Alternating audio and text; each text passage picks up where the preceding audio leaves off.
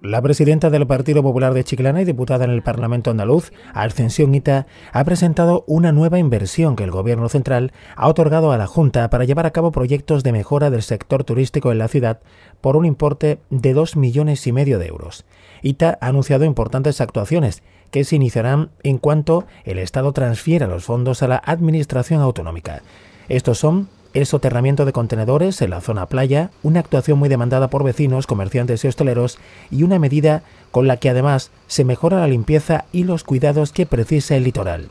También esta inversión reforzará el alumbrado de Fuente Amarga y Rana Verde, zonas con una intensa circulación de vehículos que verá mejorada de una manera significativa su seguridad.